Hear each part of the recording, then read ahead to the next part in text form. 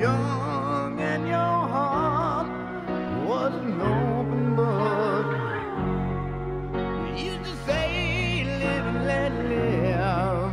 No, you did, you know you did, you know you did. But if this ever-changing world in which we live in makes you give in and cry. Say, live and let